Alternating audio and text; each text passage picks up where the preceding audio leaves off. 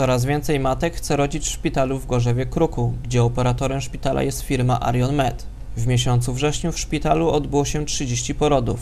W porównaniu z poprzednim okresem jest to wielki wzrost. Jak mówią młode mamy, opieka w szpitalu jest na największym poziomie i dlatego wybrały ten szpital. Pani Aniu, urodziła Pani Syn. syna, którego? Trzeci syna, jedna córka. E, pani powie, dlaczego szpital w Gostyninie? Wybrała Pani. Nigdy nie narzekałam i nie narzekam, więc opieka dla mnie jest super. I warunki również. Warunki również. Firma Arion Med rozwija się w bardzo szybkim tempie i jak zapowiada prezes zarządu Karol Stpiczyński, Arion Med chce stworzyć dużą sieć szpitali, które swoim zasięgiem obejmą teren całej Polski. Korzystamy z okazji, że spotkaliśmy dzisiaj prezesa e, grupy Arion Med w Gostyninie. To zapytam o rozwój tej grupy. To nie jest jakaś wyjątkowa sytuacja, że jestem tutaj w Gostyninie, bądź ktoś z zarządu firmy Arion Med. Przyjeżdżamy tutaj bardzo często. Na bieżąco interesujemy się tym szpitalem. Szpital w Gostyninie to dla nas bardzo ważna część naszej firmy.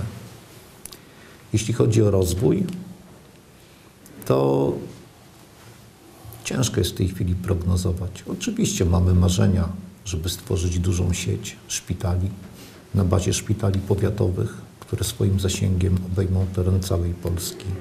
Czy nam się uda? Zobaczymy. Na razie techniką małych kroków pozyskujemy kolejne szpitale, bierzemy udział w kolejnych przetargach, rozwijamy się.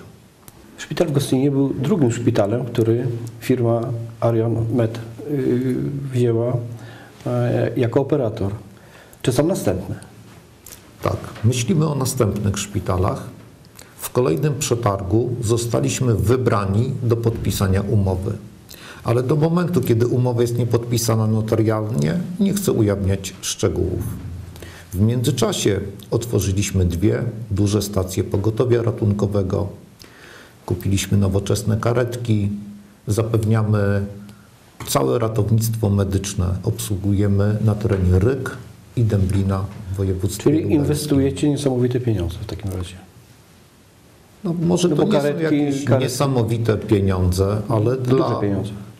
dla naszej firmy tak. Oczywiście my się nie możemy równać z jakimiś wielkimi spółkami giełdowymi, które obracają milionami. Jak dla nas to są naprawdę duże wydatki. E, Za dzierżawę szpitala w Gostyninie płacicie powiatowi, powiatowi jakie pieniądze? Jeżeli Nie chciał- wiedzieć. Nie chciałbym ujawniać szczegółów. To jest pewnego rodzaju tajemnica biznesowa. Osoby zainteresowane odsyłam do biuletynu informacji publicznej. Na stronach starostwa jest umowa. Proszę zajrzeć i się zapoznać. Ja myślę, że jakby Arion Med nie przejął tego gostyńskiego szpitala, to już tego szpitala by nie było. Przecież była decyzja wojewody mazowieckiego o tym, żeby zamknąć szpital. Oczywiście. Ciężko jest prorokować, co by było, gdyby Arion nie przejął szpitala w Gostyninie. Ale te ostatnie miesiące, tuż przed przejęciem szpitala, a przypomnę, było to 7 marca tego roku, wskazywały na to, że sytuacja naprawdę jest niebezpieczna. I to nie są już tylko chwilowe czy nawet głębokie problemy z płynnością finansową. To była wręcz super głęboka zapaść w, w wydaniu finansowym, kadrowym, ale również organizacyjnym. E, Przykładem decyzja wojewody mazowieckiego, który w pewnym momencie wstrzymał przywożenie pacjentów do szpitala. E, Szpital był skutecznie odcięty od dostaw leków, sprzętu jednorazowego. Pracownicy nie otrzymywali wynagrodzenia. E, Ciężko jest mi naprawdę prorokować, czy szpital by przetrwał bez Arionu, czy nie. Moim zdaniem by nie przetrwał. Dzisiaj są miejsca pracy, pensje dla pracowników na czas. Tak, ja tylko potwierdzam, że miejsca pracy są, że wszyscy pracownicy od czasu, kiedy szpital został wydany firmie Arion, w terminie otrzymują wynagrodzenia w pełnej wysokości. Szpital jest pełen pacjentów. Nie ma ograniczeń żadnych, jeśli chodzi o dostawy leków i sprzętu jednorazowego. Byliśmy wielokrotnie kontrolowani. Kontrole nie stwierdziły znaczących uchybień. Mamy pełną obsadę kadrową, zgodną z przepisami i wymogami Narodowego Funduszu Zdrowia. Posiadamy niezbędny sprzęt. Działamy. Bunt Stadionów to film dokumentalny przybliżający widzom środowisko kibiców. Komentatorami w filmie są przedstawiciele nauki, mediów, kościoła, kombatanci walki z komunizmem. Reżyserem filmu jest Mariusz Pilis, dziennikarz, korespondent wojenny, producent telewizyjny i filmowy. Gostyniński Klub Gazety Polskiej zorganizował pokaz filmu oraz spotkanie z reżyserem. Film powstał y, w pierwszej kolejności jako próba y, obejrzenia tego, co dzieje się w Polsce i na Ukrainie y, przed Euro 2012. Ja współpracuję z taką telewizją publiczną holenderską, która bardzo chciała popatrzeć na to, co dzieje się w obszarze powiedzmy takim około futbolowym, ale przede wszystkim w obszarze społecznym w Polsce i na Ukrainie y, przed wtedy jeszcze zbliżającymi się mistrzostwami Europy Euro 2012. Ja zrobiłem około 50-minutowy film, który w dwóch, y, składał się z dwóch części polskiej i ukraińskiej, mniej więcej po 20 minut każdą, 21. I już wtedy zbierając materiał do, y, tego, do tej części polskiej, też było o kibicach i było akurat wtedy bardzo aktualne. Mm, To był spór pomiędzy kibicami a władzą, tak to nazwijmy, pod hasłem y, stop y, stosowania odpowiedzialności zbiorowej.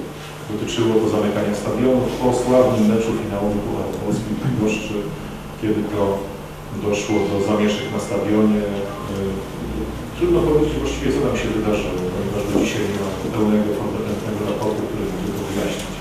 Niemniej jednak y, cała wina spadła na kibiców i wobec nich zastosowano pewnego rodzaju rozwiązania, które wydają się mało demokratyczne, ponieważ za nawet burdy kilkuset ludzi odpowiedziało kilkadziesiąt tysięcy ludzi w całej Polsce. I to był ten moment, kiedy kibice postanowili bardzo głośno się sprzeciwić, co z kolei oznaczało, że musieli się, e, musieli się ujawnić. De facto e, musieli pochwalić swoich liderów. E, Ci liderzy wzięli na siebie odpowiedzialność za te akcje protestu, sprzeciwu, co z kolei zaowocowało represjami. E, Bardzo dziwnymi. Do dzisiaj nie ma jakby też pełnego raportu na temat tego, w jaki sposób e, większość tych grup, bo akcja e, rozszerzyła się na całą Polskę, ale nie ma informacji na temat tego, w jaki sposób oni byli traktowani, czy rzeczywiście wszystko było zgodnie z prawem. To już 35 lat działalności Klubu Honorowych Dawców Krwi PCK Dar Życia. Z tej okazji w Szkole Podstawowej nr 3 odbyła się uroczystość jubileuszowa. Wszystkich obecnych gości przywitał prezes HDK Robert Baraniak, który następnie przedstawił krótką historię powstania klubu. 35 lat działalności klubu HDK PCK Dar Życia w Gostyninie. Data powstania 23 maj 1978 roku. Klub Honorowych Dawców Krwi PCK Dar Życia w Gostyninie działa już 35 lat. W dniu 23 maja 1978 odbyło się pierwsze posiedzenie nowo wybranego zarządu klubu HDK w Gostyninie, na którym przydzielono funkcje społeczne. Pierwszym prezesem tego liczącego w tym czasie około 100 honorowych dawców krwi y, został wybrany pan Karol Podleśny. Następnie klubowi przewodzili y, panowie Paweł Pieniążek, Tadeusz Kosiński, Wojciech Pasikowski. Po nagłej śmierci kolegi Wojtka Pasikowskiego od 2003 roku do 2005 obowiązki prezesa pełniła pani Anna Palczyk. Od 2005 do 2009 roku prezesem klubu był ponownie wybrany pan Tadeusz Kosiński. W 2009 roku na prezesa klubu został wybrany pan Robert Baraniak, który pełni y, funkcję do chwili obecnej. Następnie głos zabrali zaproszeni goście, którzy składali najserdeczniejsze życzenia wszystkim dawcom i sympatykom klubu.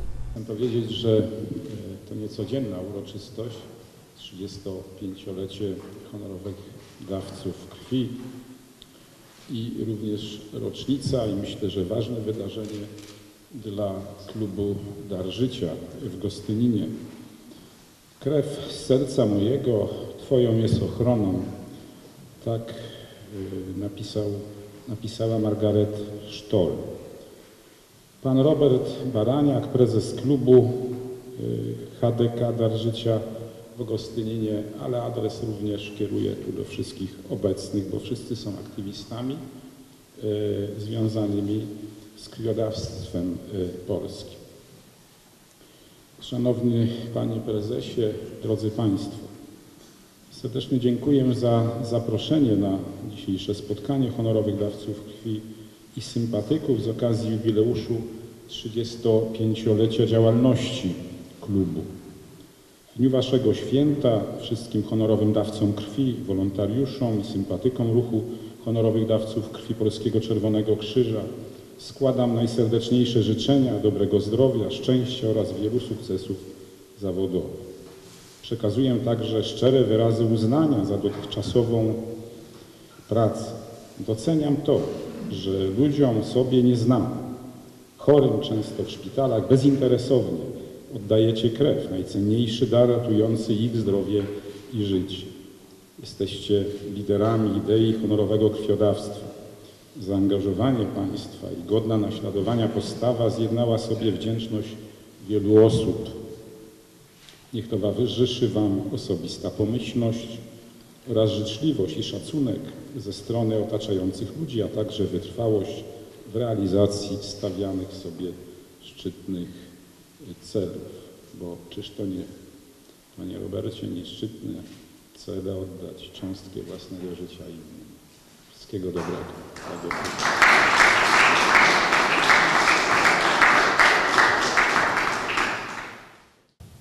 Szanowny Panie Prezesie, wszyscy członkowie klubu Jubilata i wszyscy zaproszeni goście, dostojni Panie i Panowie. W imieniu Zarządu Mazowieckiego Oddziału Okręgowego Polskiego Czerwonego Krzyża bardzo dziękuję za zaproszenie na dzisiejszą uroczystość. Cieszę się, że mogę uczestniczyć w jubileuszu 35-lecia działalności Klubu Honorowych Dawców Krwi Polskiego Czerwonego Krzyża Dar Życia w Gostyninie. Obchodzimy w roku 2013 55-lecie organizacji honorowego krwiodawstwa w naszym kraju przez Polski Czerwony Krzyż. Tym czasie na terenie całej Polski istniało wiele tysięcy klubów honorowych dawców krwi. Powstawały w wyniku odgórnej decyzji, ale najczęściej samorzutnie. Grupowały ludzi wrażliwych na cudze nieszczęście, gotowych do pomocy innym. Ludzi dzielących się z potrzebującymi najcenniejszym darem, częścią samego siebie, czyli własną krwią. Kluby honorowych dawców krwi PCK działały przy fabrykach, hutach, kopalniach, placówkach służby zdrowia. Organizowano je w jednostkach wojskowych, strukturach resortu komunikacji czy spraw wewnętrznych. Cieszyły się poparciem przełożonych i ogółu społeczeństwa. Zmiany ustrojowo-prawne i gospodarcze przełomu lat 80. i 90. wpłynęły także na Polski Czerwony Krzyż i krwiodawstwo w naszym kraju. Niemożliwe stało się w nowej rzeczywistości utrzymanie wielu dotychczasowych przywilejów.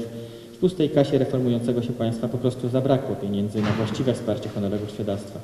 Nie zmniejszyło się jednak zapotrzebowanie na krew. Przeciwnie, rozwój medycyny wiąże się ze stałym wzrostem popytu na ten najcenniejszy, wciąż niemożliwy do zastąpienia w inny sposób lek.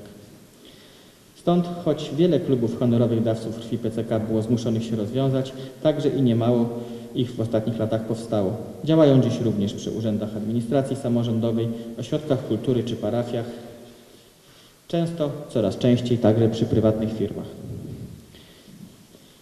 Jednak na szczególny podziw zasługują te kluby honorowych dawców, które umiały przetrwać w niekorzystnych warunkach. Istnieją one wbrew przeciwnościom, mimo ograniczonych środków na działalność, mimo wciąż zmniejszającej się sieci punktów krwiodawstwa oznaczającej konieczność coraz dalszych dojazdów. 35 lat klubu Dar Życia budzi szacunek, podobnie jak odznaczenia nadane klubowi i poszczególnym jego członkom przez te wszystkie lata. Krzyże kawalerskie Orderu Polonia Restituta, odznaki zasłużony dla zdrowia narodu, kryształowe serca, ponad 60 krzyży zasługi, ponad 70 odznak honorowych Polskiego Czerwonego Krzyża, wreszcie ponad 500 odznak zasłużonego honorowego dawcy krwi. Za tymi liczbami stoją ludzie, ci starsi i ci młodsi, ci, którzy oddali po kilkadziesiąt litrów krwi i ci, którzy dopiero rozpoczynają swoją przygodę z honorowym krwiodawstwem. To dzięki nim Wasz klub może pochwalić się organizacją ponad 200 akcji krwiodawstwa w ciągu 35 lat swego istnienia. To ich krew daje te ponad 1000 litrów co roku. Prezesowi jednego z najstarszych klubów honorowych dawców krwi Polskiego Czerwonego Krzyża na Mazowszu i jego współpracownikom pragnę złożyć w imieniu Zarządu Mazowieckiego Oddziału Okręgowego Polskiego Czerwonego Krzyża oraz Mazowieckiej Okręgowej Rady Honorowego Świadactwa, której członkiem prezydium mam przyjemność być. Serdeczne gratulacje z okazji jubileuszu oraz płynące z głębi serca życzenia dalszego rozwoju w działalności czerwonokrzyskiej i wszelkiej pomyślności w życiu prywatnym. Koleżanki i koledzy, tak trzymać.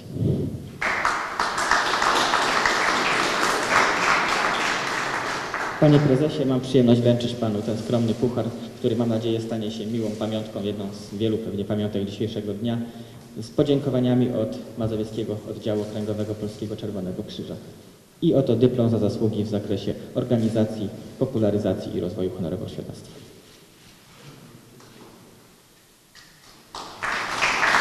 Podczas uroczystości wręczono wyróżnienia, dyplomy i statuetki w uznaniu za dotychczasowe osiągnięcia i pomoc. Na zakończenie wystąpiła młodzież z zespołu szkół imienia Marii Skłodowskiej-Curie. Krwiodawstwo jest jak bractwo. Każdy, kto krew swą oddaje, dobrym człowiekiem się staje. Kiedy krew oddajemy, przyjacielem chorych zostajemy. Każdy każdemu pomagać chce, dlatego oddaje drugiemu swą krew. Nawet mała kropelka krwi ratuje życie Tobie i mi. Z każdym dniem kropla ratuje życie. Ja to wiem. My taką kroplę mamy, więc ją chorym też oddamy. Kroplę krwi oddaj i Ty. Zapamiętaj to od dziś. Kropla krwi, taka malutka, a tyle nas łączy. W naszych żyłach krąży, płynie. Z czego jej działalność w naszym ciele słynie? Płynie. Niczym rzeka biegnąca w dół krętej doliny. Toczy się, zatrzymać się nie może. Ta krew bezcenna, do życia potrzebna, dla nas stworzona, krew ciemnoczerwona.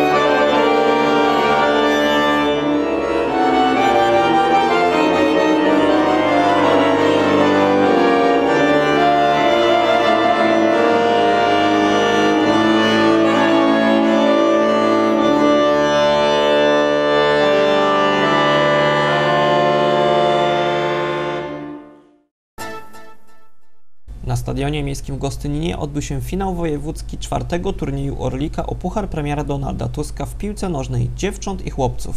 W turnieju udział wzięło ponad 20 szkolnych drużyn z Mazowsza. Zawody otworzyła przewodnicząca Rady Miejskiej Jolanta Syska-Szymczak. W imieniu władz miasta Gostynina, jak również swoim własnym, pragnę bardzo gorąco przywitać wszystkich przybyłych, zawodniczki, zawodników, opiekunów, trenerów, sympatyków, przyjaciół na finale wojewódzkim piłkarskich szóstek, czwartego już finału Orlik 2012 o Puchar Premiera Donalda Tuska na terenie naszego miasta Gostynina, który po raz kolejny został wybrany jako organizator finału, co niezmiernie jest nam bardzo miło. Życzę wszystkim miłej zabawy, wszystkim zwycięstwa, abyście wywieźli z naszego Gostynina miłe wrażenia. Finał czwartego turnieju o Puchar Premiera Donalda Tuska uważam za otwarty. Następnie na płycie boiska wystąpił zespół Ananasy ze szkoły podstawowej nr 3 w Gostyninie.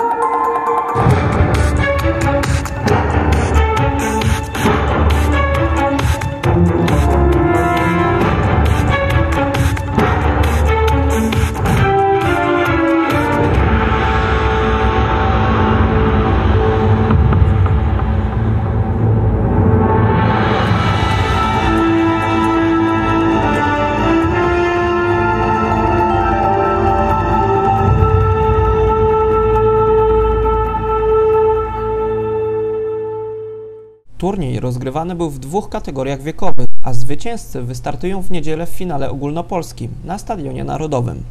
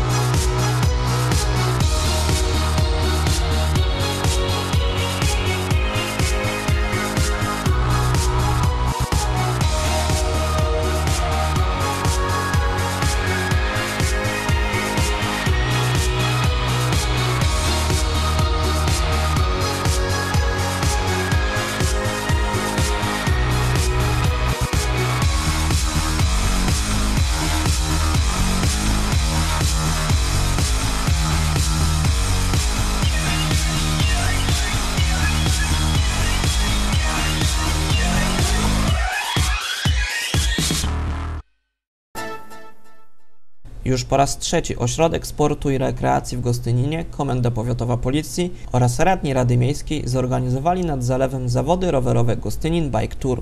Do udziału w wyścigu stanęło około 50 rowerzystów.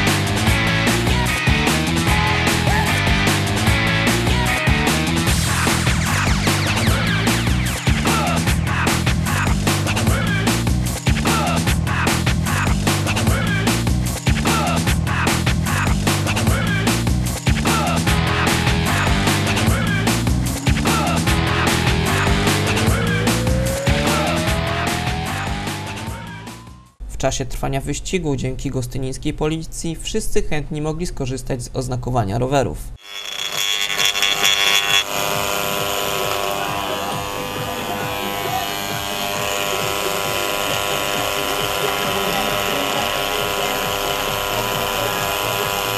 Przypominam także, że dla uczestników zawodu jest możliwość e, znakowania roweru. A będzie może komentarze Komendy Powiatowej Policji w Gostyninie czy do organizatorów dzisiejszych zawodów. Także zapraszamy wszystkich chętnych, przypominam. Podczas imprezy odbył się także symboliczny bieg przyjaźni dla Piotrusia Markowskiego, który porusza się na wózku inwalidzkim. W biegu uczestniczyło 25 osób.